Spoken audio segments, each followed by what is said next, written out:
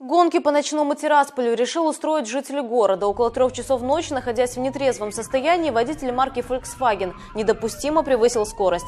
Требования автоинспекторов остановиться он проигнорировал и попытался скрыться. По улице Карла Липнихта в районе магазина «Водолей» э, на требования э, работников э, милиции не остановился автомобиль Volkswagen Golf, госномер С075СВ. Погоня за нарушителем длилась около получаса. В какой-то момент один из трех экипажей ГАИ решил обогнать преследуемый автомобиль, но выполнить маневр до конца не удалось. Резко вывернув влево, водитель Volkswagen совершил столкновение с патрульным автомобилем. По улице Юности! Удар! Ударил нас! Но на этом погоня не закончилась. Даже после столкновения нарушитель продолжил движение, однако ненадолго. Заехав в один из дворов микрорайона Октябрьский, он оказался в тупике и был задержан сотрудниками ГАИ. Почему не остановился, когда ударил служебный автомобиль ГАИ?